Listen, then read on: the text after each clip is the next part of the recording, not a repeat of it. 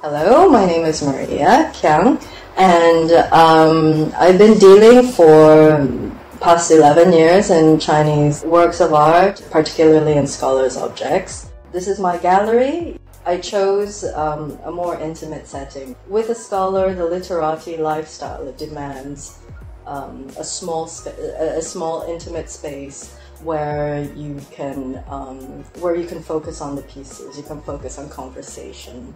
It was the lifestyle of how it was back in the 17th century. Scholars objects is one of the only um, fields like niche fields in chinese art where you can um, it's made to be handled. It, it, it was made as an object um, that you're supposed to hold in your hands and then appreciate.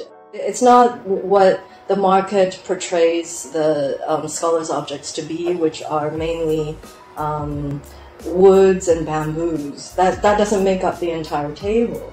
There's there's a, all sorts of other materials that are involved between lacquers, um, uh, jades, um, bronzes. Um, ivory, agate.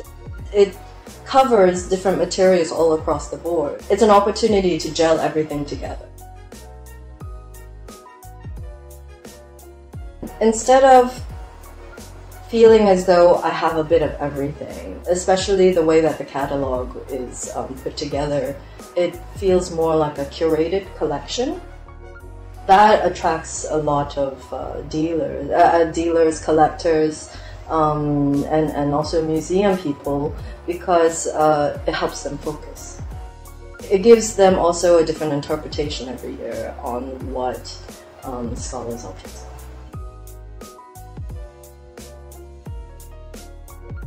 There are a lot more fakes than there are real pieces, I, I do admit.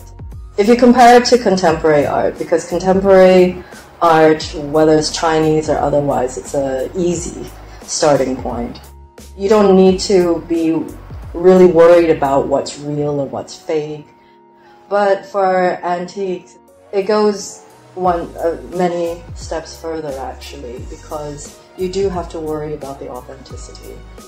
Just because you see something that's slightly similar to something that you saw in a museum, it doesn't mean that that's really the, the actual um, piece or, or a, a very similar example.